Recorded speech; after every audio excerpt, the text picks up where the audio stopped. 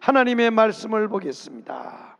하나님의 말씀 하나님의 말씀은 출애굽기입니다. 출애굽기.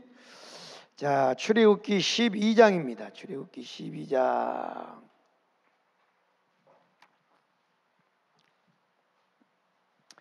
출애굽기 12장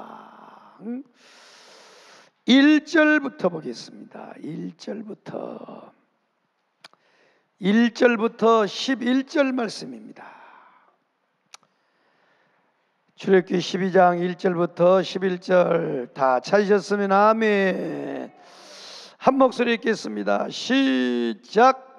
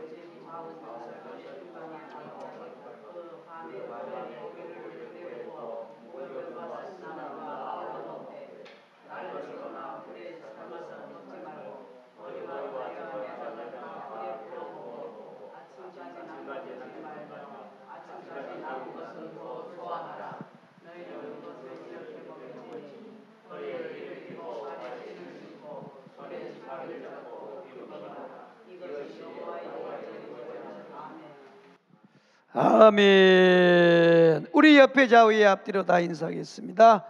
큰 은혜 받읍시다. 아멘. 다 다시 한번 하겠습니다. 주님 이 자리에 우리와 함께 계십니다. 아멘. 자, 이제 창세기 1장을 끝내고 오늘부터는 또 뭐 하느냐? 한번 따르겠습니다. 7대 명절의 복을 받자. 어, 무슨 무슨 복을 받자고요? 7대 명절입니다. 7대 명절. 7대 명절의 복입니다.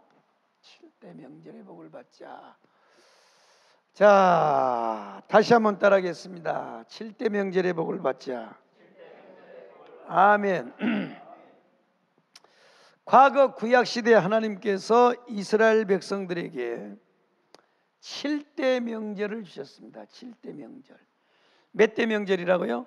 7대 명절. 7대 명절을 주셨는데 어, 우리나라에도 명절이 많죠. 우리나라에도 명절이 많습니다.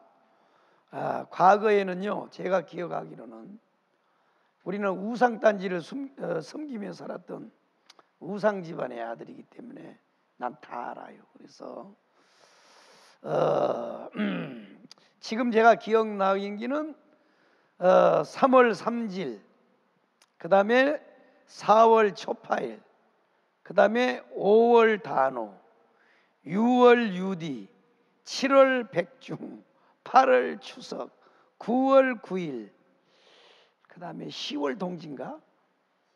어, 모르겠다 이제 그 다음부터는. 그 다음에 이제 정월 초하루는 설날. 이렇게 우리나라도요 이렇게 명절이 많았어요 옛날에는.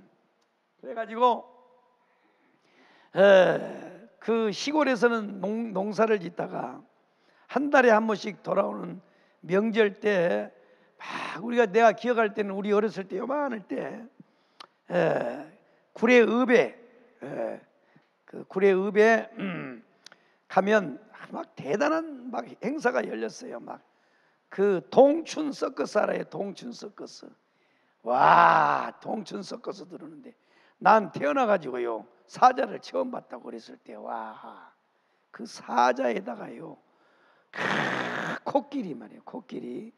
그다음에 그 큰그 통에 세상에 오토바이가 막 그 나선형으로 막 돌자 빵 해가지고 확 돌아고 막 또 내려오고 그런데 그 어렸을 때요 이야 저게 사람인가 아, 신인가 말이야 그렇게 그래서 우리 어렸을 때는 그렇게 에, 명절이 많고 그 다음에 또 그런 그 크고 작은 명절들이 들어오면 꼭 내가 기억나는 건 뭐냐면 윗목에다가 아 우리 엄마 보고 꼭 상을 차리라 그랬어요. 그 뭐냐면 제사상 차리는 게 제사상. 그래가지고 하루는요. 제가 기억나기로는 6월 6일 날인가 하여튼요. 우리 아버지가 이제 그 시골에는 이 여름에는 뙤약볕 밑에는 일을 못하니까 새벽에 가가지고 풀을 한다고 풀. 풀 알아요 풀.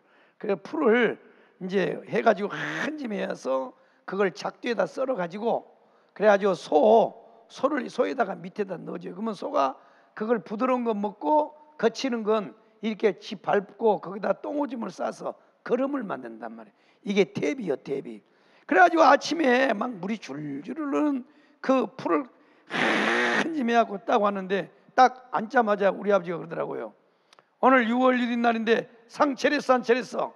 그래가지고 이제 해놓고 지게를 저기다 해놓고 마루에다가 여름이니까 마루에다가 밥상을 차려놨는데 밥상을 한 숟갈 뜰려다가 어, 우리 엄마 뭐 물어보더라고요. 저 윗목에다 상 차렸어 안 차렸어? 그러니까 아이 그까지 너무 그뭘 상을 차고 차리나고 어? 그 제사도 지금 일곱 개나 돼서 많아 많아 죽겠고 그러니까요 우리 엄마는요 한 달에 보통 제사상을 두 번 차려서 두 번, 두 번, 세 번.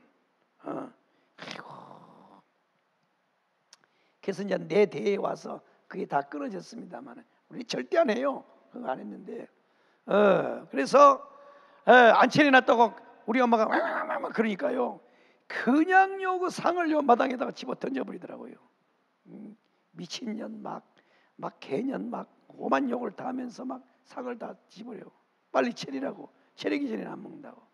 이렇게 우상에 찌들어 가지고 하여튼요. 우리나라도 이렇게 명절이 많은데 우리나라 명절이나 중국의 명절이 비슷한 게 많아요. 유대인의 명절도 그렇습니다. 그런데 예, 이 유대인의 명절은 거의가 다 누구하고 관계되어 있냐면 하나님과 관계되어 있어요. 아, 하나님께서. 에, 그러나 우리는 뭐냐? 우리의 명절은 뭐냐면 다 농경, 어, 샤머니즘하고 관계되어 있어요. 자, 그래서 우리 기독교와 이 샤머니즘, 근데 우상과 차이가 뭐냐? 우리는 모든 것이 하나님으로부터요. 그렇죠? 하나님으로부터요. 하나님으로부터. 우리는 이걸 프롬이라 그러잖아요. 하나님으로부터 우리 누구에게 오냐? 인간에게 와, 인간에게. 이것이 성경에 나타난 명절이고 제사고 다 그렇습니다. 모든 것이 하나님으로부터예요. 구원도 마찬가지죠. 그런데 우상이나 이방 종교는 뭐냐? 모든 것이 뭐요? 인간으로부터 인간으로부터. 뭐로부터요? 인간으로부터 신에게 가는 거예요. 신에게 가는 거예요. 이 차이란 말이에요. 이 차이. 깨달으셨어요? 그러니까 우리나라에도 명절이 있긴 있지만 그것이 구약 시대에 이스라엘 백성들이 받았던 그 명절하고는 본질적 차이가 난다는 말이에요. 본질적. 그러나 하여튼 명절이라고 하는 이 에, 이름으로 우리나라에도 명절이 있었는데 과거 구약 시대도 어, 하나님께서 이스라엘 백성들에게 명절을 주셨다는 거예요. 깨달으시면 아멘. 그러면 이스라엘 백성들에게는 하나님이 에, 몇 가지의 명절을 줬느냐? 한번 따라하겠습니다. 7대 명절의 복을 받자. 아멘. 그래서 이스라엘 백성들에게 주신 명절이 일곱 가지인데 첫 번째가 뭐예요? 6월절입니다. 6월절. 6월절이에요. 6월절. 한번 따라하겠습니다. 6월절. 그 다음에 또 두 번째가 뭐예요? 무교절입니다. 무교절. 한번 따라하겠습니다. 무교절. 그 다음에 세 번째가 뭐예요? 초실절. 초실절입니다. 그 다음에 네 번째가 뭐예요? 오순절입니다. 오순절. 오순절. 그 다음에 다섯 번째가 뭐예요? 나팔절입니다. 나팔절. 한번 따라하겠습니다. 나팔절. 어, 나팔절이에요. 그 다음에 여섯 번째가 뭐냐? 무슨 절 뭐예요? 속죄절입니다. 속죄절. 속죄절입니다. 한번 따라하겠습니다. 속죄절. 그 다음에 마지막 일곱째가 뭐예요? 장막절입니다. 장막절. 장막절이요. 장막절. 한번 따라하겠습니다. 장막절. 이렇게 일곱 가지의 명절을 주셨다는 거예요. 깨달으시면 아멘 합시다. 그러면 하나님께서 이스라엘 백성들에게 이 7대 명절을 주셨는데 이 7대 명절은 왜 주셨느냐? 왜 주셨느냐? 아, 참, 이 7대 명절을 주셨습니다. 아, 이 7대 명절을 주신 이유가 크게 세 가지라고 그랬어요. 크게 세 가지. 몇 가지라고요? 크게 세 가지입니다. 크게 세 가지. 크게 세 가지요. 그러니까 이스라엘 백성들에게 이 7대 명절을 준 건 크게 세 가지. 한번 따라하겠습니다. 유월절, 무교절, 초실절, 오순절, 나팔절, 속죄절, 장막절, 아멘. 이렇게 일곱 가지의 명절을 줬는데 왜 주셨느냐? 크게 세 가지인데 에, 첫째는 예수 그리스도가 이 땅에 오셔서 이루실 뭐냐?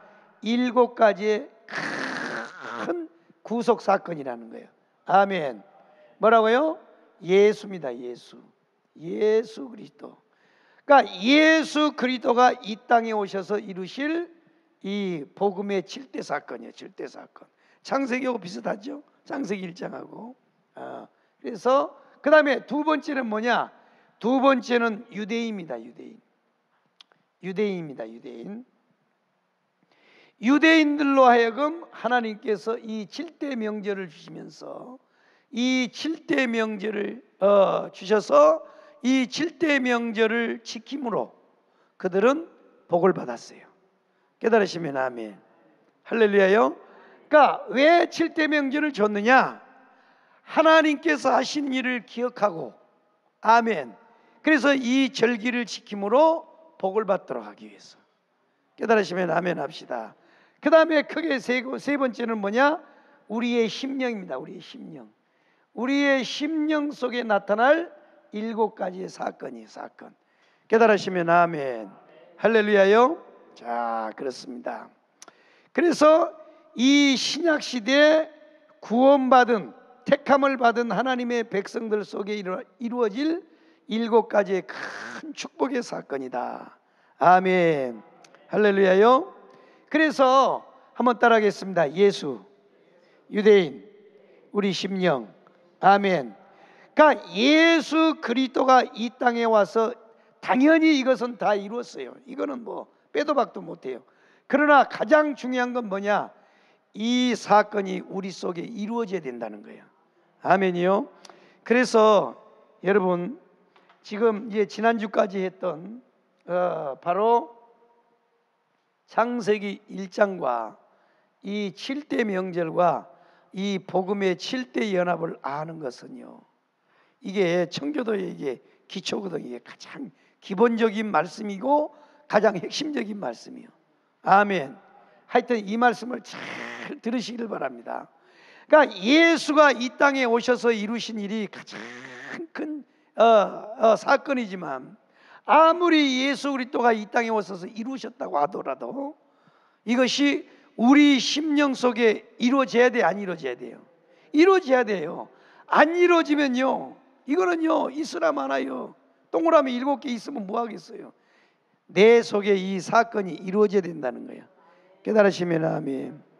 그러면 유월절은 뭐냐? 유월절은 유월절은 예수 그리스도에게 유월절은 뭐냐? 이 유월절은 예수 그리스도가 이 땅에 와서 무엇을 했느냐? 이거는 예수의 죽음이요, 죽음. 아멘. 예수의 죽음이란 말이에요, 예수의 죽음. 뭐라고요? 유월절은 예수 그리스도의 죽음이요, 죽음. 예수가 이 땅에 와서 죽는다. 그러니까 이 유월절이 뭐냐면 바로 이스라엘 백성들이 어디서요? 애굽에서 어, 출애굽을 하던 날 에, 전날 밤에 뭐냐? 바로 유월절 어린 양이 죽어서 그 피를 문설지에다 바르는 사건이란 말이에요. 그런데 여러분 이 성경에 보면 이 유월절에 죽었던 이 어린 양이 곧 누구냐? 바로 이 땅에 오셔서 우리를 위하여 대속의 죽음을 하실 예수라고 말씀했어요. 예수. 아멘. 자, 요한복음을 한번 찾아보겠습니다. 요한복음.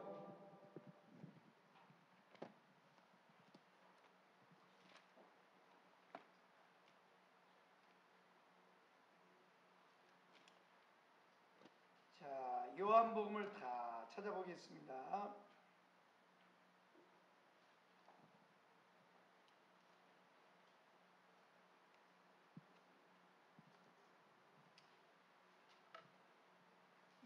(29절을) 보겠습니다 (29절) 요한복음 1장 (29절) 자 한번 읽어보겠습니다 시작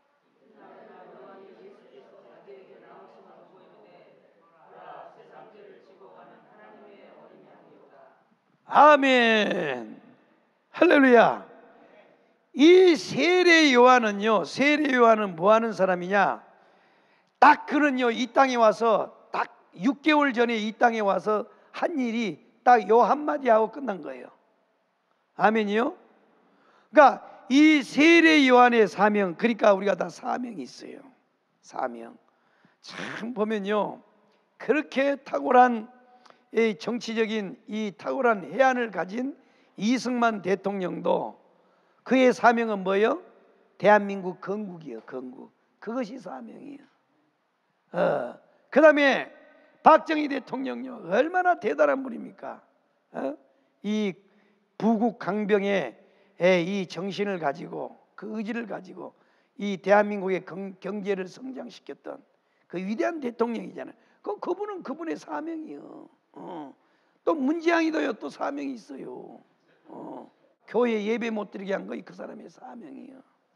다 사명대로 살다 가는데 이 세례 요한은 딱 한마디의 외침을 하고 끝난 거예요.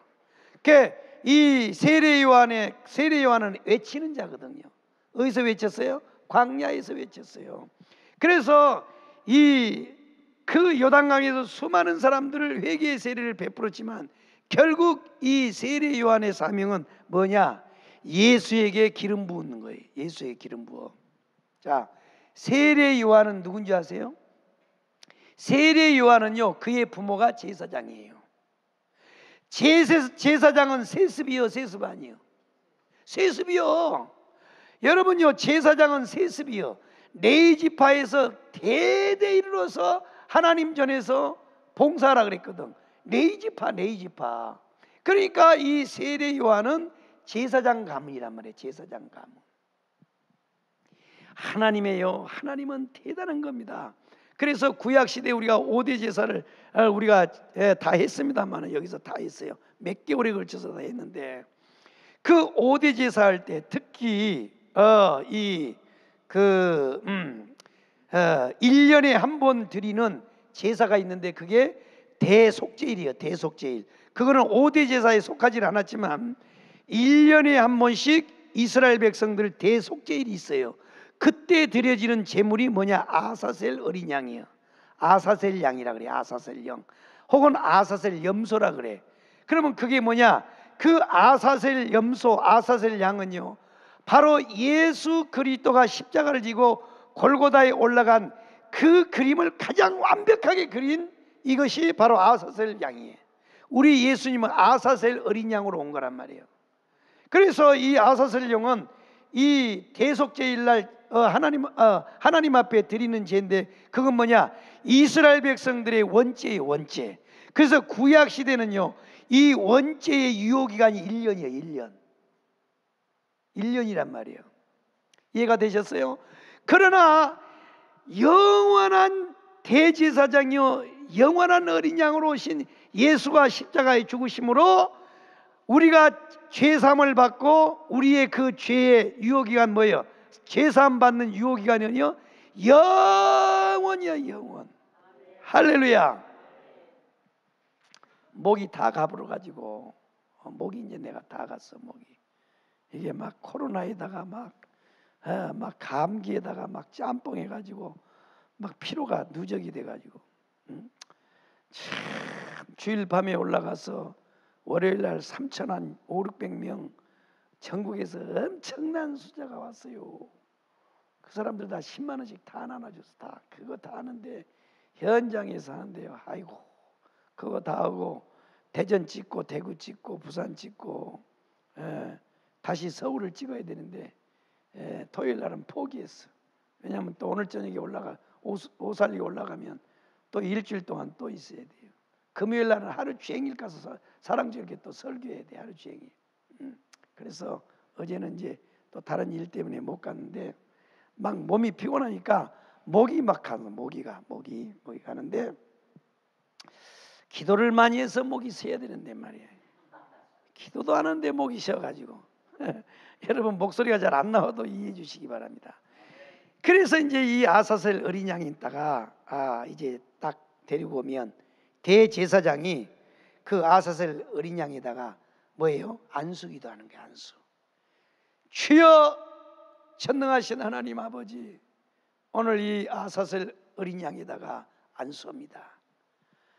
인류의 죄 그때는 뭐 인류가 없어요.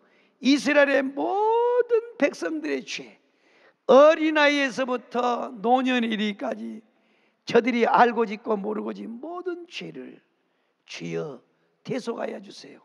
오늘 이 어린 양의 손을 얹습니다. 이때에 이 기도를 하면서 제사장이 안수를 하면 어떻게 돼요?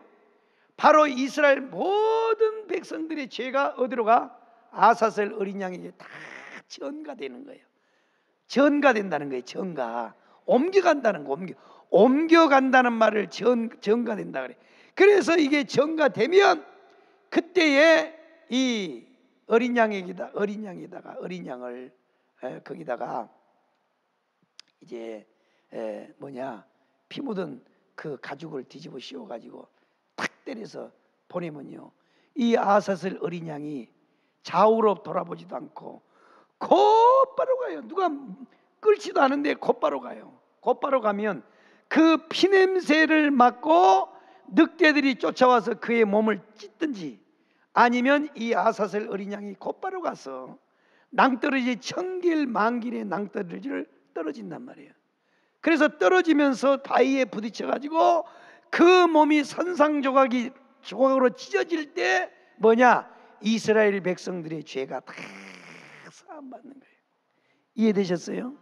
그 대속죄일 날은 꼭 대제사장이 안수를 해요. 누구한테? 아사셀 양한테다가. 그와 같이 그와 같이 예수 그리스도가 이 땅에 오셔서 인류의 모든 죄를 대속하기 위해서는 뭐가 필요하느냐? 안수가 필요한 거예요. 안수. 그래서 세례 요한에게 가서 세례를 받은 것은 뭘 받은 거냐? 세례를 받은 게 아니에요. 뭘 받았냐? 안수 받은 거야, 안수. 누구한테? 제사장한테. 그러니까 예수가 딱 나오니까 세례 요한이 뭐라 그랬어요? 아이고, 아이고, 주님 어떻게 해서 나한테 옵니까? 나는 그런 일 하면 큰일 나요. 어? 아이 왜 나한테 다 그 일을 합니까? 그랬더니 하나님의 의를 위해서 네가 하라 그러잖아요. 아멘이요? 이렇게 보세요. 이게 하나님의 뜻이란 말이야. 하나님의 뜻을 위하여 네가 하는 게 옳다 이거야. 해라 이거야. 자, 그러면 오늘 세례 요한은 무슨 세례라 그랬어요? 회개의 세례예요. 회개의 세례. 지금 우리가 하는 세례는요. 물 세례는 또 달라요. 세례 요한이 물 세례를 베풀었으나 오늘 우리가 하는 세례하고는 달라요. 또 달라요. 왜냐? 세례 요한은 회개의 세례예요. 회개의 세례. 죄를 깨닫게 하는 세례란 말이에요. 어? 그러니까 그러면 예수 그리스도는 죄가 있어 없어? 죄 있어 없어요? 죄 있다 그러면 다 가. 우리 교회 오지 마. 예수는 죄가 없는 분이요. 죄가 없는 분인데 왜 회개 세례를 왜 받냐고요? 그러니까 죄가 있어서 회개의 세례를 받으러 간 게 아니고 뭐하러 갔느냐? 마지막 인류 역사의 제사장인 세례 요한에게 바로 안수 받으러 간 거 안수. 안수를 받아야 뭐가 돼요? 어린 양이 되는 거예요. 어린 양. 그래서 세례 요한에게 안수를 받음으로 인류의 모든 죄, 나의 죄, 너의 죄, 우리 모두의 죄가 바로 예수에게 전가된 거예요. 그래서 예수가 그 죄를 다 전가받고 어디로 가요? 골고다 산상으로 올라가는 거예요. 십자가에서 자기의 몸을 찢기 위해서. 그래서 그 몸이 찢어질 때 피를 흘릴 때 우리의 죄는 다 소멸되는 거예요. 아멘. 그래서 6월절에 6월절 어린 양의 피가 문설주에 발라진 것을 보고 하나님의 심판이 넘어가듯이 오늘 마지막 날 인류의 마지막 날 하나님의 심판이 도래할 때 뭘 가지고 하나님이 심판을 하시느냐? 바로 보혈의 피여 피. 6월절 어린 양이신 예수의 피가 있느냐 없느냐요. 네가 교회를 크게 했느냐 적게 했느냐 네가 교회를 오래된 게 있느냐 적게 된게냐 네가 교회 안에서 직분이 크냐 적냐 아무 의미 없어요 그때는. 그건 아무 의미 없는 거예요. 오직 예수의 피요. 아멘. 그래서 세례 요한이 딱 한 것은요 딱 그거요. 예수에게 인류의 모든 죄를 뒤집어 씌워놓고 정가시켜놓고 뭐요? 이분은 바로 세상 죄를 지고 가는 하나님의 어린 양이로다. 이거 한 번 하고 뭐가지 딱 잘라진 거예요. 이게 세례 요한의 사명이에요. 할렐루야. 깨달으시면 아멘. 그러니까 이 6월절은 왜 나타났느냐? 뭘 말하려고 나타났냐? 예수가 이 땅에 와서 6월절 어린 양, 다시 말해서 세상 죄를 지고 가는 하나님의 어린 양이신 것을 말하기 위해서 나타났다는 거예요. 아멘이요. 할렐루야. 이렇게 하나님은요 오묘하신 분이에요. 깨달으시면 아멘. 할렐루야요. 음. 바로 그렇습니다. 예수의 십자가 사건을 설명하기 위해 주신 절기가 6월절이다. 이해되셨으면 아멘. 그럼 무교절은 뭐냐? 무교절은요 6월절 다음으로 오는 절기로서 뭐냐? 이것은 예수 그리스도의 무덤이요 무덤. 아멘. 뭐라고요? 예수의 무덤이요 무덤. 예수의 무덤이란 말이에요 무덤. 예수가 십자가에 죽어서 어디에요? 무덤 속에 사흘 동안 갇히는 사건이 무교절이란 말이에요 무교절. 깨달으시면 아멘. 할렐루야요. 참 그렇습니다. 이 유대인들은요 무교절이 다가오면 무교절이 다가오면 무교병이라고 하는 떡을 만들어요. 그래서 음, 우리가 한 몇 년 전에 한 꽤 됐는 것 같은데 어 저 중국 시안을 갔어요. 시안 중국 시안 그 시안이 어디냐면 바로 그 어, 중국을 최초로 통일했던 왕 진시황의 무덤이 발견된 것이 에, 그 시안이란. 시안. 그걸 서안이라 그래 서안. 요즘에는 서안이라 그러는데 시안에 가면요. 이 서안, 이 시안은 바로 동서의 그 무역의 교류가 있는 바로 어 그걸 보고 뭐라 그래요? 그 실버 어 실크로드 실크로드라고 그래 이게, 이게 아, 실버가 아니고 실크로드 이 실크로드인데 이 실크로드예요 그래서요, 여러분, 여러분 중국 사회주의는 자기 땅이 있어 없어요? 없어요. 음. 그거는 국가 소유예요. 단 지상 이, 이 지상 구조물은 어, 국가로부터 임대를 해서 어, 건물을 지어 가지고 70년이면 70년 또 뭐 30년이면 30년 이렇게 해서 어, 자기가 쓸 수 있어요. 근데 지금 대한민국에 이런 짓거리를 하려고 하는 인간들이 생겨. 땅을 다 뺏으려고. 네. 그런데 유일하게 그 시안에 가면요. 자기 소유권을 가진 사람들인데 그게 누구냐? 이슬람이요. 이슬람이 있어, 이슬람. 그래서 시안에 가면요. 그 이슬람의 거리가 있단 말이에요. 이슬람의 거리. 와, 이 관광 코스 가운데요. 그 이 서안에 가면 이슬람 그 이 상거리가 있는데 아, 하여튼요, 꽤, 꽤 넓습니다. 요, 요, 요 병점, 요 가다 보면 요 비행장, 옛날에 박정희 때 이 병점 내려가는 요 도로 있잖아. 반드는 도로. 이거는요, 비상, 그 비행기 비상 착륙장으로 이륙장으로 만들어 놓은 거 이게. 그렇게 박정희는요, 방공, 방첩, 이걸 철저하게 생각한 분이요. 그러니까 그 어, 도로만큼 커요. 쫙 되는데 그 시안에 가면요 이슬람 사람들이 거기서 장사를 해. 오만 걸다 팔아요. 그 이슬람 뭐 근데 거기 가면 뭐가 나오냐? 무교병이 나와 무교병. 그래서 양꼬치도 막 그냥 큰 작대기다 막 꽂아갖고 가는데 나는 비가 약해서 그런 못 먹어. 아따 그 위생상으로 별로 안 좋대. 막 그냥 거기 가면요 그 양꼬치 하는 냄새 누룩 냄새 때문에 아우 나는 숨도 못 쉬겠더라고. 어. 그런데 그 저 우리 저 내 친구는요 그 통합청 목사인데 그 송탄에 있는 그 친구는 야 여기 여행도 먹는 것도 여행이야. 그러면서 그런 거잘 먹더라고. 나한테 하나 준더라고. 먹어봐 먹어봐. 아이고 나 먹자. 안 먹어 먹어. 그래가지고 이제 그 친구가 뭘 샀냐면 무교병을 샀어 무교병. 무교병이 꽤 커요. 아, 근데 거기는 말 그대로 이스트가 안 들어가는 빵을 무교병이라 그래. 이스트 알잖아 이스트. 술술. 이게 안 들어간단 말이에요 그 이스트가 들어야 빵이 부풀어지잖아요 응? 빵이 부게 부게 부풀게 하는 게 이스트인데 이스트가 아무것도 안 들어간 거예요. 진짜 먹어보면요. 이게 무슨 맛으로 먹는지 모르겠어요. 근데 이 무교병이 무교병을 만들어서 이스라엘 백성들이 먹는데 나는 그래서 무교병을 처음 거기 가서 시안에 가서 한번 봤어요. 그러니까 이, 그 이슬람도 무교병을 먹어. 우리 유대인들도 무교병을 먹어. 똑같아요.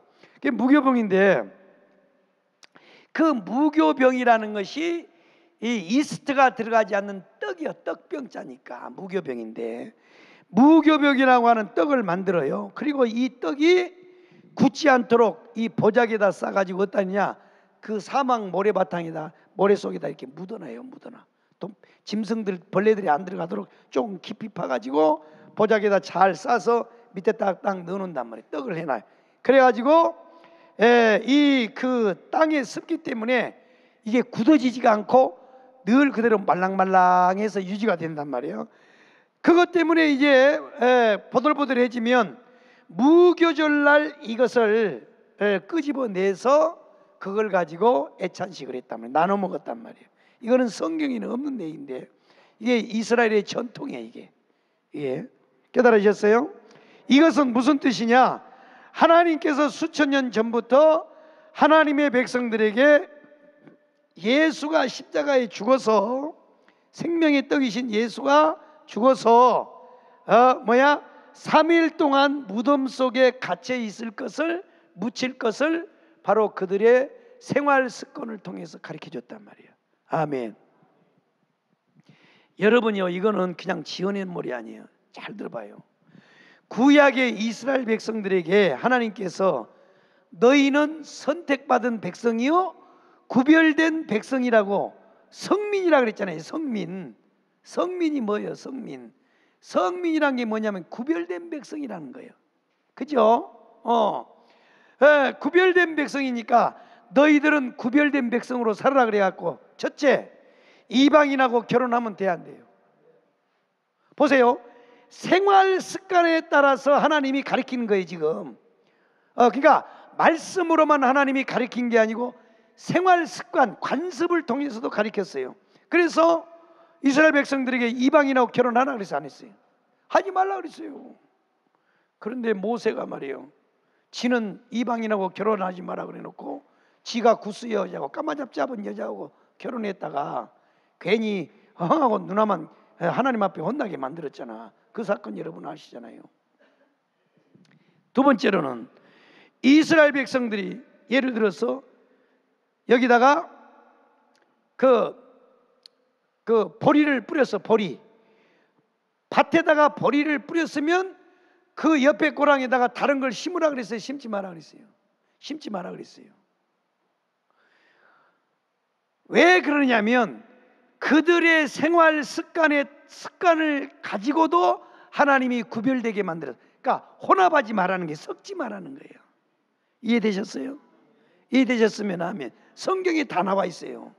성경에 다 나와 있어. 그러니까 한 밭에다가 이거 심고 이거 심고 이거 심고 하지 말라는 거야. 섞이지 말라는 거야. 이렇게 하나님이 그들의 삶 속에서 이렇게 구별된 백성으로 가리키기 위해서 이렇게 하셨다는 거예요. 그러니까 당연히 이스라엘 백성들이 자기들도 몰라. 자기 속에 계신 하나님의 영이 본능적으로 가리킨 거야. 무교절 날은 무교병을 먹어야 되니까 만들어 놓으면 하룻밤 지나면 이스트가 안 들어가 있기 때문에 딱딱이 굳어버려요. 돌덩이처럼 굳어버려.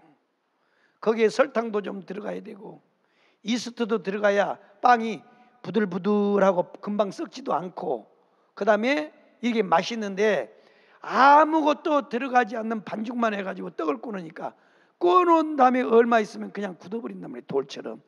그래서 그들이 부들부들한 떡을 먹기 위해서 생각해 낸 것이 이것이 우리 성령의 본능이란 말이에요.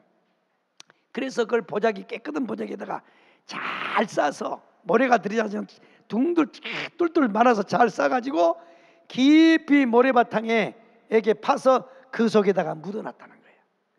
이해되셨으면 아멘. 이거 뭐냐면 수천 년 동안 하나님께서 이스라엘 백성들 그 의식 가운데 아멘이요 생각 가운데 삶 가운데 이렇게 가리킨 거예요. 예수 그리스도가 이 땅에 오셔서 십자가에 죽으셔 가지고 땅의 무덤 속에 사흘 동안 갇힐 것이라고 하는 것을 가리켰단 말이에요. 깨달으시면 아멘. 또한 뭐와 같으냐? 선지자 요나가 밤낮 3일을 물고기 뱃속에 있었던 것처럼 무교병도 같은 원리라는 거예요. 아멘. 그래서 이스라엘 백성들이 예수에게 와서 네가 메시아냐? 네가 선지자냐? 깐족깐족 대면서 말이야. 그랬어요. 그래 맞다. 니들이 하는 말이 옳도다. 그러니까 메시아면 네가 표적을 보여봐. 표적. 그래서 헬라 사람들은 뭐예요? 지혜를 구하고 유대인들은 뭐예요? 표적을 구하잖아요. 그러니까 네가 메시아라면 메시아가 메시아인 표적을 보여봐. 표적 내놔 표적. 그러니까 뭐라 그랬어요? 예수님이 야 니들한테는 표적 보일 것이 없어. 요나의 표적밖에 보일 것이 없다 그랬어요. 요나. 요나가 밤낮 물고기 뱃속에 3일 동안 있었던 것처럼 인자도 밤낮 3일을 땅 속에 있으리라. 아멘. 그러니까 바로 뭐냐? 이 무교절은 예수 그리스도가 바로 무덤 속에 있을 것을 말씀한 적이라는 거예요. 깨달으시면 아멘. 그 다음에 세 번째로 초실절이 뭐냐? 이 초실절은 뭐냐? 바로 이것이 뭐냐? 예수 그리스도의 부활입니다. 부활. 한번 따라하겠습니다. 부활. 예수의 부활을 말하기 위해서 나타난 것이 초실절이에요. 깨달으시면 아멘. 그 초실절은 뭐냐? 초실절은요. 보세요. 이스라엘 백성들이 가나안 땅에 들어가기 전까지는 뭘 먹었어요? 뭘 먹었어요? 하늘로부터 내려오는 만나. 그다음에 메추라기. 그러니까 이스라엘 백성들이 가나안 땅에 들어가기 전까지는 일을 했어요, 못 했어요? 못 했어요. 농사를 못 지었어. 왜? 언제 주님의 불기둥이 구름기둥이 움직일지 모르는데 뭐 심어놨다가 가자. 그러면 옮겨가야 되는데 추수도 못하고 그래서 농사를 못 지어요. 그래서 작업자족을 못한 거야. 그래서 하나님 뭐냐? 매일 아침마다 눈을 뜨면 가서 어디요? 풀이나 나무에 묻어 있는 그 만나 이것을 걷어다가 굽거나 튀겨서 먹었어요. 그러다가 어디에 들어가세요? 가나안 땅에 들어가 가지고 농사를 짓는 그 순간부터 만나가 딱 그쳤어요. 이해되시면 아멘. 참 보세요. 이게 이게 기가 막힌 겁니다. 이게 음? 그래서 그래서 만나가 이제 딱 그치고 그리고 이스라엘 백성들이 가나안 땅에서 농사를 지어 가지고 첫 번째 거둔 거예요. 첫 번째 이게 바로 초실절이 뭐냐? 처음 초자예요. 처음 초자. 아, 그래서 우리가 초자라 그러잖아요.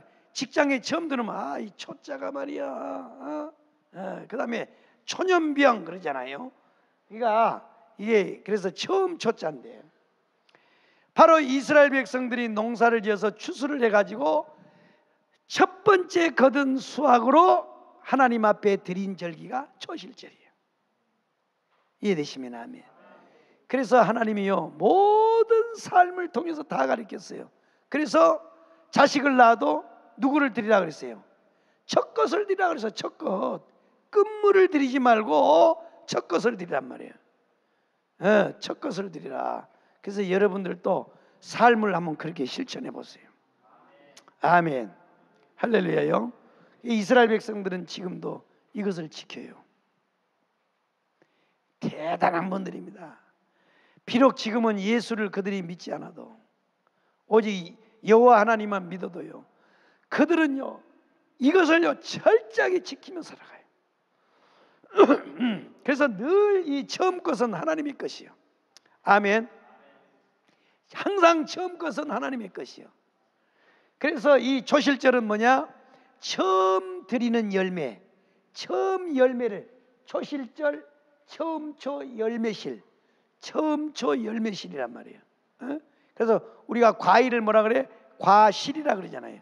그래서 바로 초실절은 처음 딴 열매, 처음 거둬들인 처음 수확한 열매를 드리는 절기가 초실절이다. 이해되시면 아멘. 아멘. 그러면 이것은 도대체 뭘 말하느냐? 아이 처음 열매를 드렸는데 이게 부활절하고 뭐냐? 잘 들어봐요. 예수 그리스도의 부활인데 왜 예수 그리스도가 예수 그리스도의 부활이 초실절이냐? 자, 고린도전서 15장 20절로 23절을 찾아봐요. 음, 아주 중요한 말씀이기 때문에 찾아서 읽어봐야 돼요. 고린도전서 15장 20절 23절 자 읽어보겠습니다. 시작.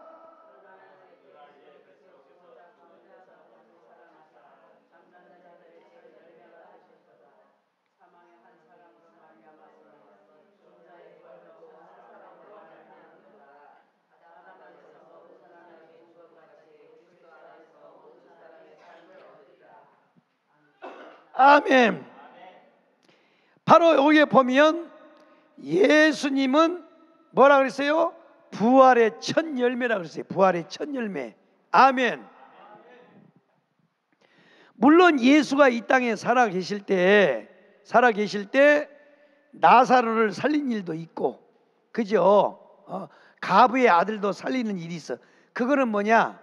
그거는 뭐냐면 그거는 뭐냐면 장차 예수가 죽은 자들을 가운데서 죽은 자들을 살리시는 살리시는 분이라고 하는 것을 뭐예요? 나타내기 위한 것이지 그들이 부활의 첫 열매가 된 게 아니에요. 인류 최초의 부활의 이 부활의 첫 열매는 누구요? 예수란 말이에요. 예수. 부활의 첫 열매가 예수란 말이에요. 그러므로 예수가 죽으셔서 부활하심으로 부활의 첫 열매가 됐기 때문에 어떻게 된다? 오늘 우리가 그 뒤를 위해서 부활하게 된다는 거예요. 깨달으시면 아멘. 할렐루야. 참 그렇습니다. 한번 따라하겠습니다. 예수님은 부활의 첫 열매. 아멘. 잘 보세요. 예수가 십자가에 죽어서 이 무덤에 갇혔다가 이제 안식일 날은 못 보니까 안식 후 첫날에 안식일 날 아무것도 못해 이스라엘 백성들은. 그래서 예수님을요 원래는 에, 원래 그날에 에, 죽이려고 안 그랬는데 가만히 생각해 보니까 이거 안식일 날은 사람 못 죽이잖아요.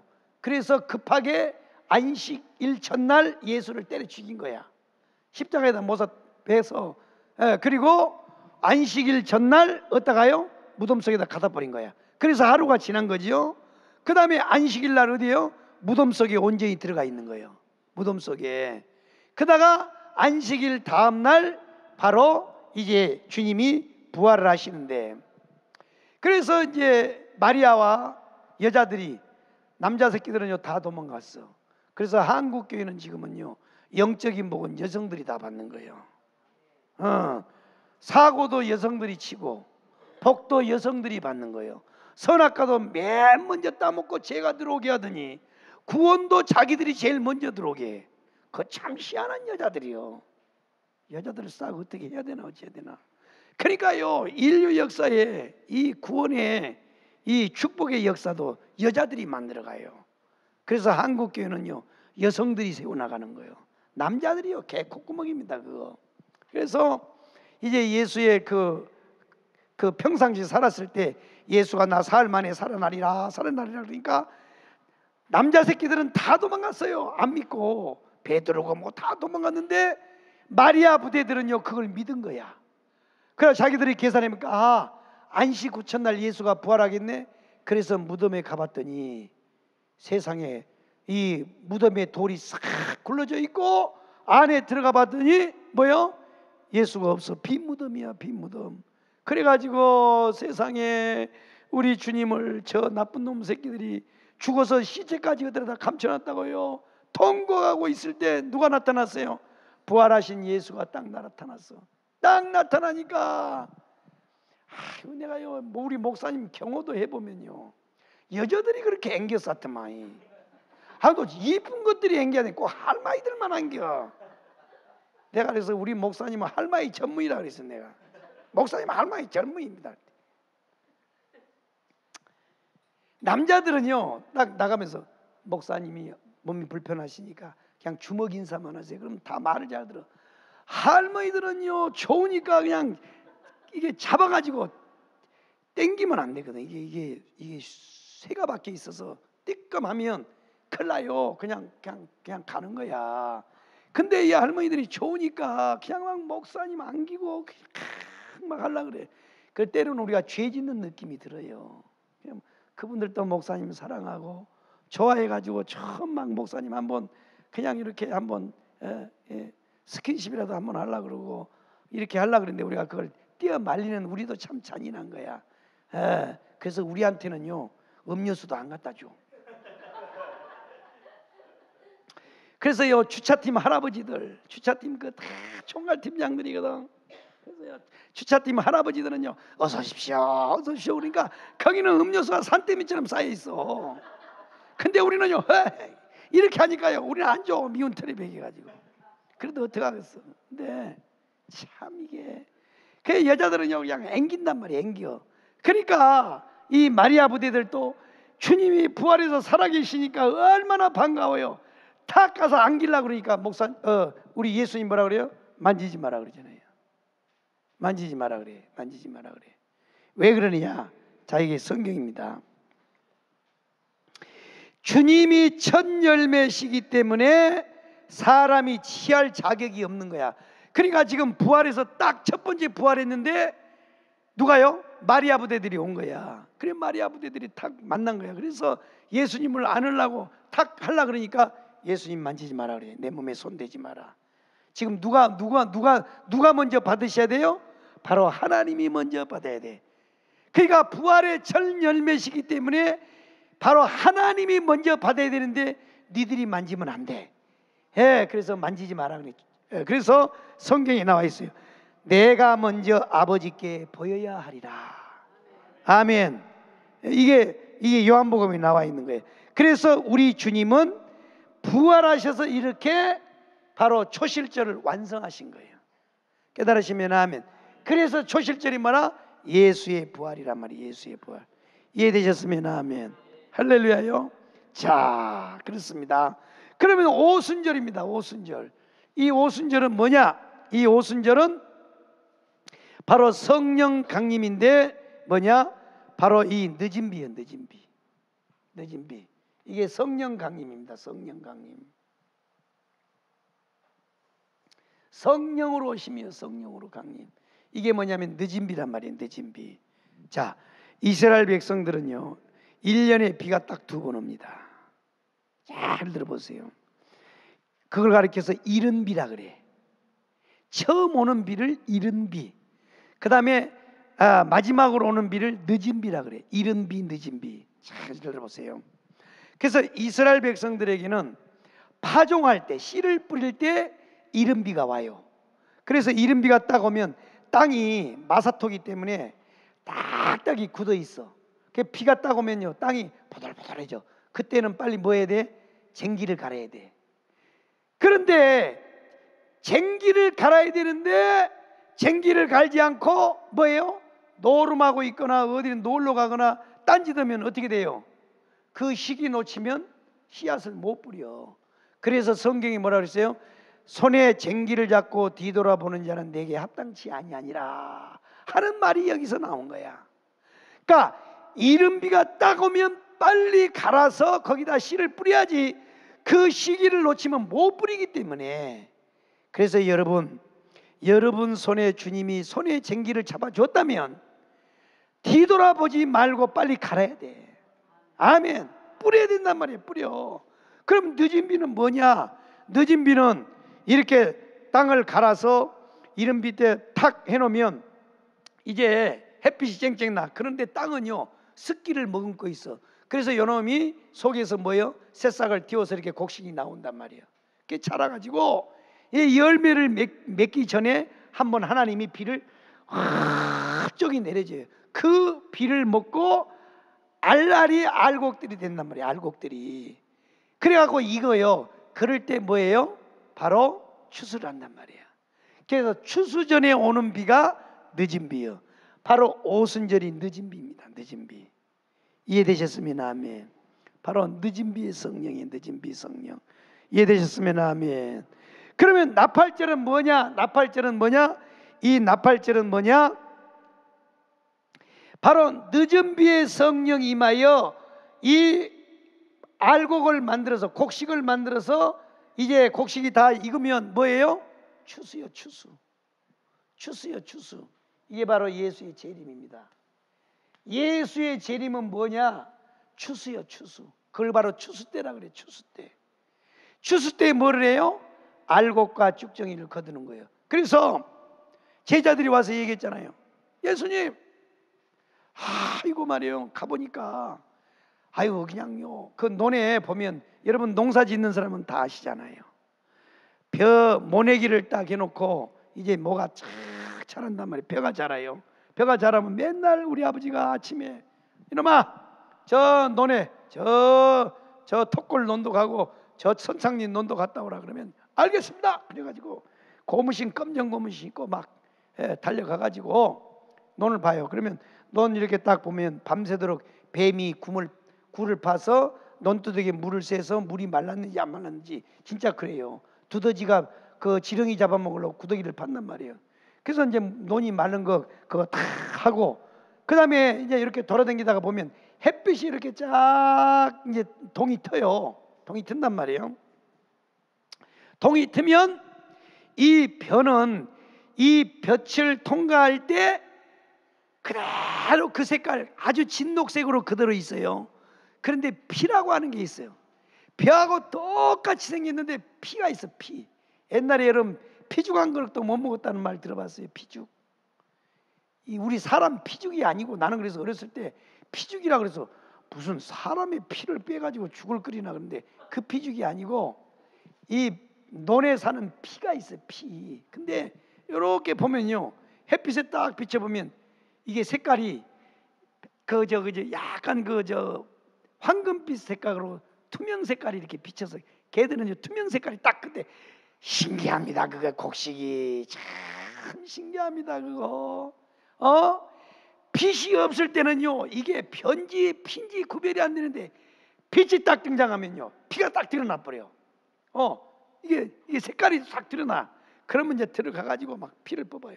피를 뽑으면 요놈들이 벼의 뿌리를 싹 감싸 가지고 뽑을 때지 않냐 하나 안, 하나 안 죽어.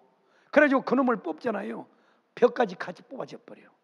그래서 어째서 이제 그걸 빼가지고 또 찢어가지고 그래서 이제 다시 이제 이렇게 심고 발을 이렇게 해놓으면 걔가 이제 자라긴 하는데 이게 피란 말이에요. 그래서 제자들이 가서 복음을 전해 보니까 가라지들이 많아요, 안 많아요? 가라지들이 많으니까 뭐라 그랬어요? 저거 가라지 좀 싹장 뽑아보면 안 될까요? 그랬더니 주님 뭐라 그랬어요? 야 놔둬라.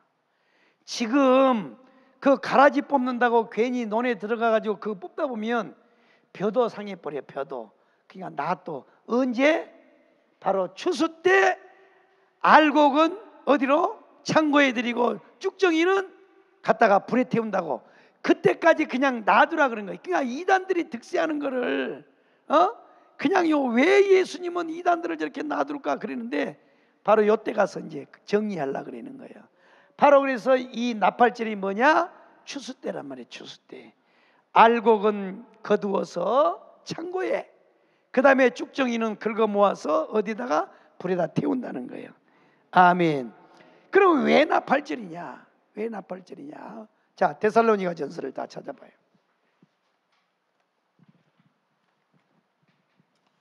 데살로니가 전서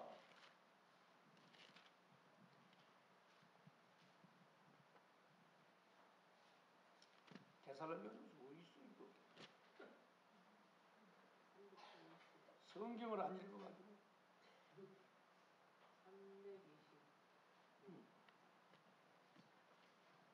데살로니가 전서입니다. 데살로니가 전서. 자.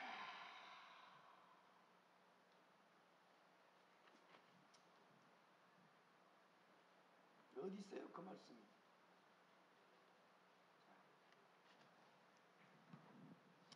자, 4장입니다. 4장. 4장. 아주 중요한 말씀입니다.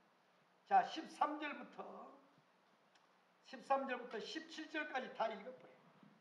자, 데살로니전서 5장 4 아니 4장 13절부터 17절 말씀 다 찾으셨으면 아멘.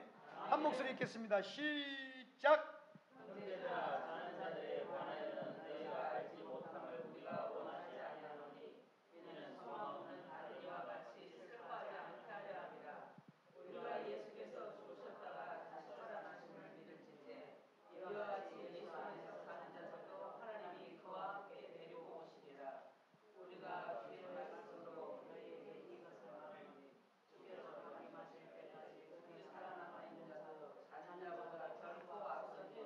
자, 16절입니다. 시작.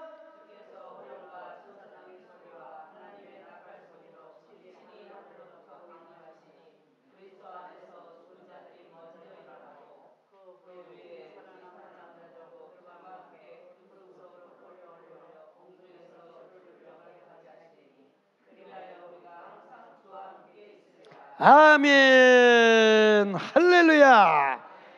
보니까 오늘 뭐라 그랬어요? 자, 16절 한번 봐봐. 16절, 16절. 자, 주께서 호령과 천사장의 소리와 뭐요? 하나님의 나팔로 와 기가 막힌 겁니다. 기가 막혀요. 어떻게 이렇게 뭐 어떻게 이런 역사가 나타날 수 있을까? 바로 이 나팔절은 뭐냐? 바로 하나님의 나팔 소리예요. 그래서 찬송가 있잖아요. 찬송가에도 하나님의 나팔 소리 천지 진동할 때에 예수 영광 중에 구름 타시고 아멘. 이야 기가 막혀. 그날이 속히 올 줄로 믿습니다. 그날이 올 줄로 믿습니다. 아멘. 이 땅의 삶으로 끝나는 게 아닙니다. 우리의 삶은 이 땅의 삶으로 끝나는 게 아니요. 바로 여기란 말이에요. 나팔절. 이 나팔절은 뭐냐? 천사장의 호령과 하나님의 나팔 소리와 함께 뭐냐? 주님이 재림한다는 거예요. 아멘. 바로 예수의 재림을 말하는 거예요. 그때의 알곡 성단은 어떻게 되느냐? 바로 휴거예요, 휴거. 휴거요. 아니 성경에 분명히 휴거가 나와 있는데 왜 휴거를 안 믿냔 말이요. 어? 잘 들어봐요. 자, 하나님이 우리를 구원하기 위해서 누구를 보냈어요? 자기가 왔어. 당신이 왔은 거야. 그걸 우리는 뭐라 그래요? 하나님의 독생자라 그래.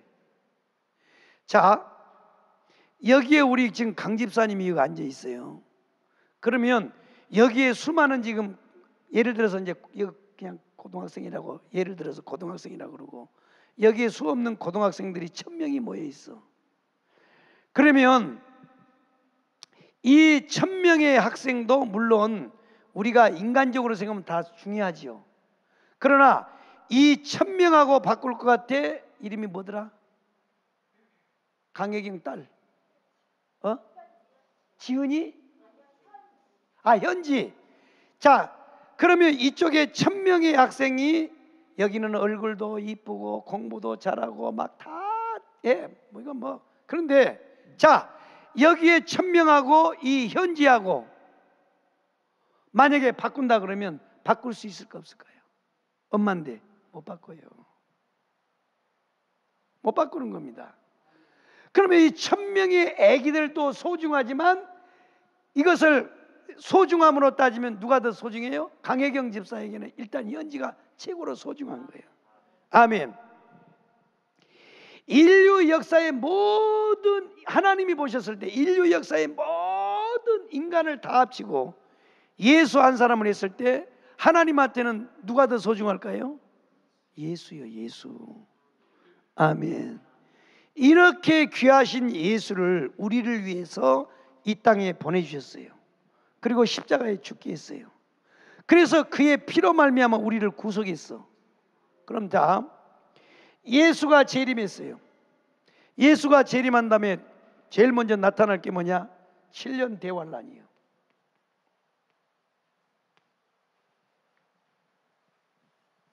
이건 7년 대환란은 반드시 일어나게 돼 있어요. 왜? 이거는요.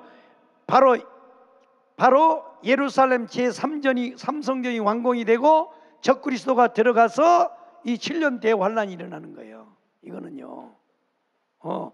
그래서 전 3년 반, 후 3년 반. 그래서 전 3년 반 동안 왕노로 돼요. 그래서 하나님이 이제 이 7년 환란을 주는데 자, 그러면 잘 들어봐요. 내가 지금 베이스 깔았잖아요.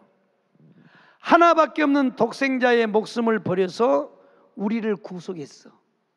그러면 하나님이 예, 그래 저 새끼들 신앙생활하는 게 개떡같이 했지 너 새끼들 주일날도 빠져먹고 말이야 삐지고 말이야 개 지랄 들었으니까 니들 7년 환란 동안 퐁당 빠져서 한번 고생 좀 해봐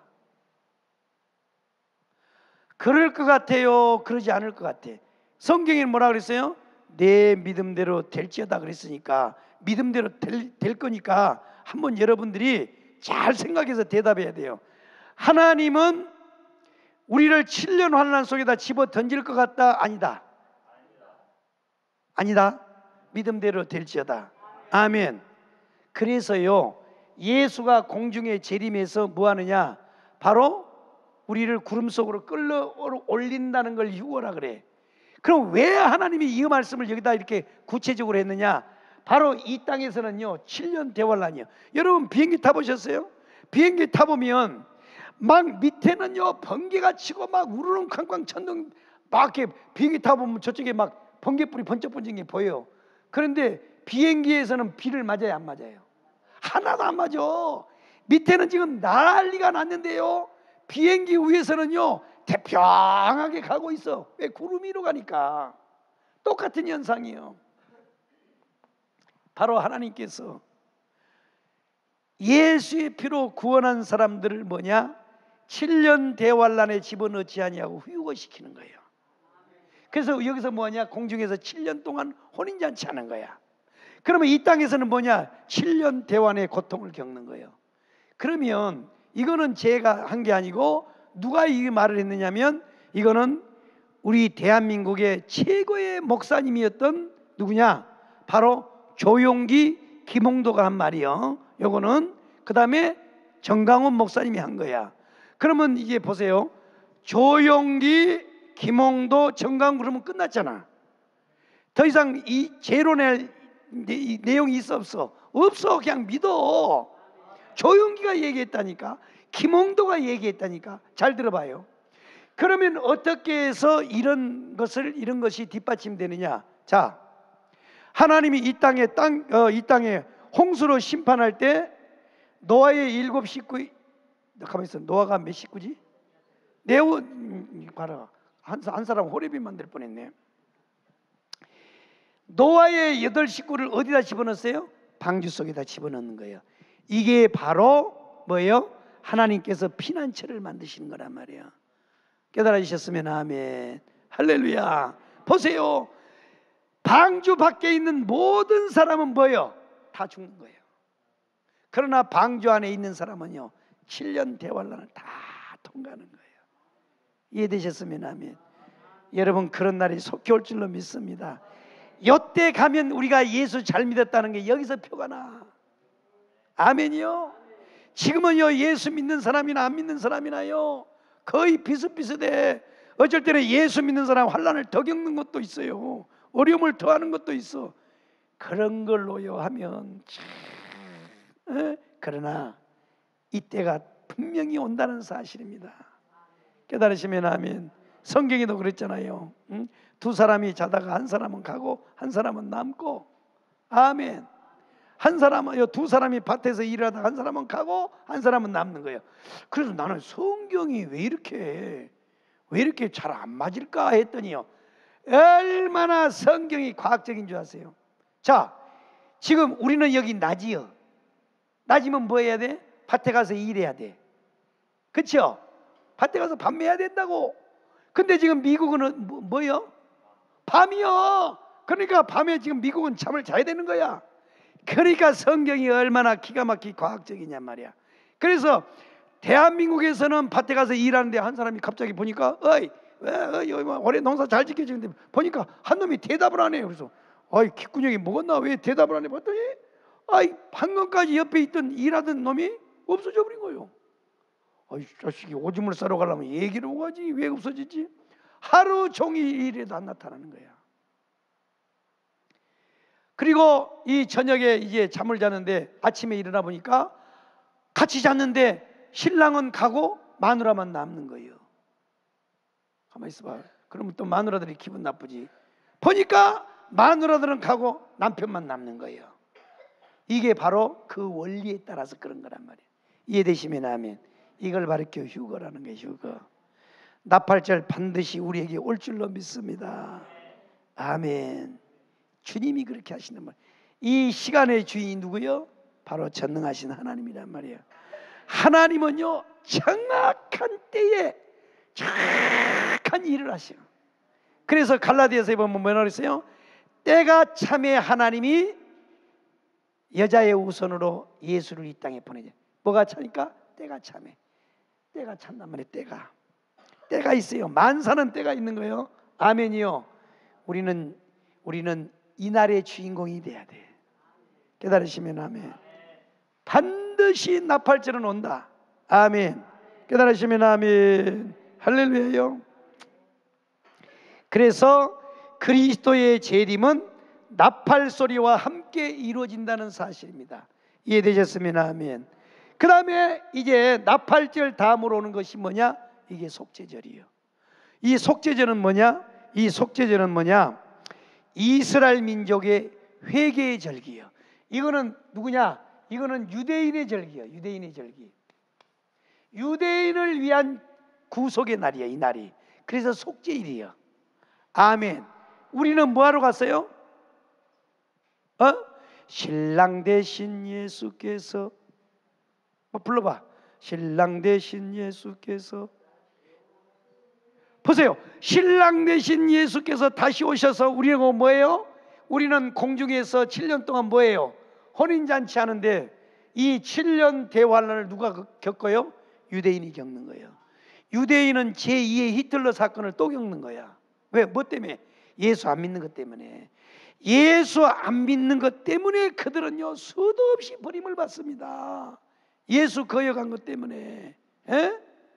에. 그래서 예수의 십자가에 십자가에 달 때 뭐라 그랬어요? 어? 어 누가 그랬어? 누가? 누가 그랬어? 예수 십자가에 죽도록 내어준 왕이 누구요? 빌라도잖아요. 빌라도 빌라도가 뭐라 그랬어요? 나는 책임 없어. 어. 어, 나 피, 나는, 나는 이 사람, 나 손에 피 안 묻힐 거야. 그래서 뭐 했어요? 빌라도는 손을 씻잖아요. 그러니까 뭐라 그래요? 제사장 서기관 이 무리들이 뭐라 그랬어요? 그의 피를 우리에게 돌리소서 그랬잖아요. 그러니까요, 말 함부로 하면 안 되는 거야. 유대인들은 그 한마디 때문에요. 예루살렘 다 망할 때, 그때 자녀들을 삶아 먹었어요. 얼마나 비참한 줄 압니까? 아이고, 예루살렘 성전은요, 이 로마 병사들이 탁 해가지고 모든 통로 지새끼 한 마리도 못 가게 해가지고 양식도 들어가도 못하고 나오지도 못했어. 그래야 성경이 예언한 대로 그들이 배고프니까요.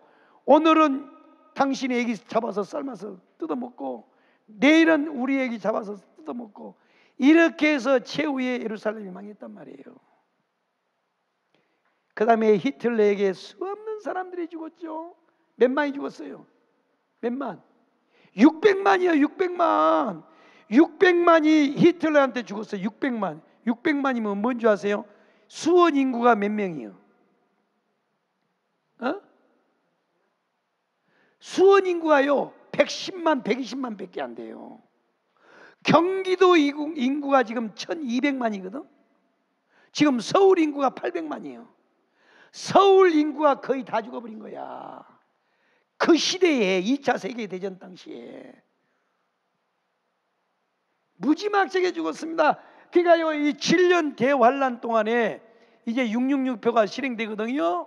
666. 벌써 우리나라에도 오잖아요. 이제는 뭐요? 이제는 카드 같은 것도 이제 안 가지고 댕겨. 옛날에는 현찰 가지고 댕겼죠.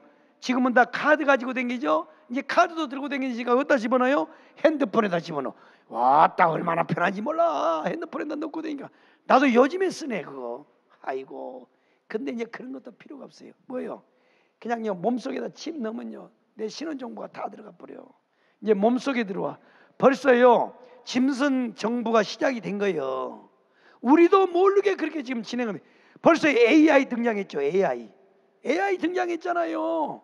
벌써요 이게 그래서 유대인들은 이 7년 대환란을 다 겪어야 돼. 왜? 뭐 때문에? 예수 버린 것 때문에. 혹독한 환란의 기간을 겪습니다. 그래가지고 그들이 깨닫는 게 뭐예요? 아버지, 우리가 잘못했습니다. 2000년 전에 오신 그분이 예수인 것, 그분이 메시아인 것을 우리가 이제 알았나이다. 하나님이 계시의 정신을 그때 주는 거야. 그러니까 여러분요. 잘 들어봐요. 이 깨닫는 것이 얼마나 큰 복인 줄 아세요? 우리가 깨닫는다 그러잖아요. 그걸 성경에는 계시의 정신이라 그래. 내 속에서 그걸 알게 한단 말이에요. 무엇을 보면요. 하나님이 그걸 감동을 주는 거거든. 그러면 그거는요. 하나님의 성령의 생각이요. 아멘. 우리는 그것을 쫓아 살아야 돼. 할렐루야요. 그걸 쫓아 살아야 되는 거야. 그게 하나님의 사람이 할 일이란 말이야. 그런데 이스라엘 백성들에게는요, 뭐예요?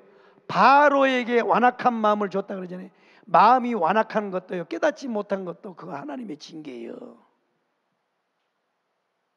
깨달아야 돼, 깨달아. 깨닫는 자가 복인 거야. 아멘이요? 근데 그 깨닫게 하시는 게 누구요? 내 안에 계신 주의 영이란 말이에요. 영. 이스라엘 백성들은요, 하나님이요. 예수가 왔는데 십자가에 죽였잖아요. 그래서 그들 속에다가 뭐 했느냐? 계시의 정신을 닫아놔 버린 거예요. 닫아놔 버려. 닫아놔 버렸단 말이에요. 그러니까 지금까지 예수 못 믿어. 그러다가 7년 대환란을 겪고 난 다음에 그들에게 계시의 정신이 임해요. 그래서 이방인들은 개인적으로 내가 예수를 믿어야 돼. 아멘. 절대 아버지가 목사라고 구원 못 받아. 장로 아들이라고 구원 못 받아. 본인이 믿어야 돼, 이방인은. 그러나 이스라엘 백성들은 민족적 회개예요. 그들은 이미 하나님이 선택한 백성이기 때문에 비록 닫아놔서 저들이 깨닫지 못하고 지금 고난을 당하지만 그래서 이스라엘 백성들이 언제 가야 이 계시의 정신이 열리냐? 속죄절 날 가서 열리는 거야. 그때 민족적으로 회개해요. 7년 대환을 겪고 살아남은 사람들이 주여 우리가 잘못했습니다. 살려주세요. 그래서 미스바 대성회가 이때 일어나는 거예요. 아멘이요. 이스라엘 백성들이 완악해서 하나님이요 블레셋을 통해서 징계했을 때 그 위대한 종 사무엘 선지자가 미스바로 모이 미스바로 모이기 위해서 금식기도 하잖아요. 마음을 짓고 너희는 겉옷을 짓고 마음을 짓고 회개하라는 것이 바로 이게 속죄절이에요. 속죄절. 깨달으시면 아멘. 이해되셨으면 아멘. 할렐루야요. 그리고 이제 그들이 이게 회개하고 나면 그다음에 뭐로 장막잘로 가는 거지. 이게 영원 무궁이에요. 영원 무궁. 아멘. 깨달으셨으면 아멘. 이게 천년 왕국이에요. 천년 왕국. 이게 천년 왕국이란 말이에요. 천년 왕국. 천년 왕국을 지나서 영원 무궁이 세계가 와요. 반드시 이 날이 올 줄로 믿습니다. 깨달으시면 아멘. 할렐루야요. 그래서 이 동그라미 일곱 개만 아는 이 사건이요. 뭐냐? 여러분들은요. 지금 또 유튜브를 많이 들어가지고 정강 목사님 설교를 통해서 청교도 목사님 설교를 하도 들어서 지금 이제 달달 외지만요. 이 7대 명절의 복을 받자라고 하는 이 동그라미 이 일곱 개 이것만 아는 것이 여러분의 이 영적인 주소가 얼만큼 날아가느냐.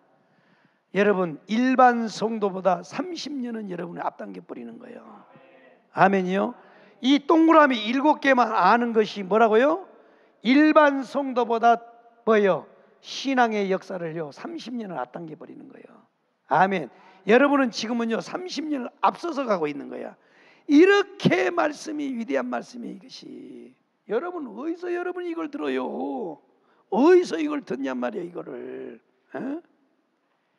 지금 한국 교회가요 예수의 재림을 안 가르쳐요. 휴거를 안 가르쳐요. 7년 대환을 안 가르쳐요. 속죄절 안 가르치는 거야. 여러분 이 일곱 가지 이걸요 정확하게 하는 것이 뭐냐? 다니엘서예요. 다니엘서. 내가 이제 마태복음 조금 하다가 조금 더 이제 수준이 높아지면 내가 오후 시간에 다니엘서를 하려고 그래. 다니엘서. 다니엘서를 한번 내가 풀어보려고 그래. 다니엘서를 풀어보면 이것은요 빼도 박도 못해. 정확해 정확해. 할렐루야요. 이 다니엘서. 이 다니엘서는 원죄의 영적인 저항력이 세가지고 내가 좀 기도 좀 많이 하고 해야 돼. 내가 기도를 좀 많이 하고 지금 하려 그러는데 이거를 우리가요 인류 하나님의 이 구속사의 시간표를 우리가 명확하게 아는 거야. 아멘이요. 그래서 이걸 딱 끝나고 나면 속죄절이란 말이에요. 이걸 여러분들이 어디서 듣겠어? 이거를 어디서 들어? 어디서 뭘 어떻게 알아들어? 이걸 응? 참 그러니까요. 아직 뭐 누가 재림한다 별 발광을 들어도 아직은 아니에요. 뭐냐?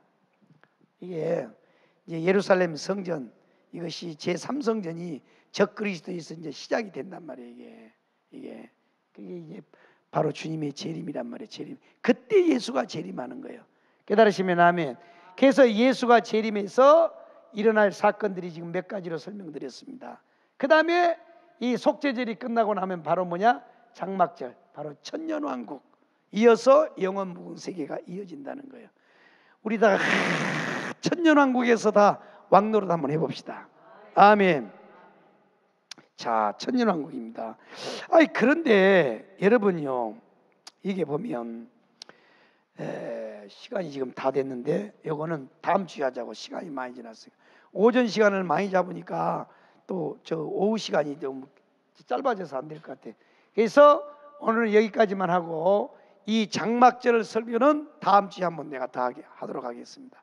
깨달으시면 아멘. 한번 따라하겠습니다. 6월절, 무교절, 초실절, 오순절, 나팔절, 속죄절, 장막절. 아멘. 여러분 이 동그라미 일곱 개가 여러분 가슴 속에 쏙 들어오기를 주 이름으로 축복합니다. 아멘.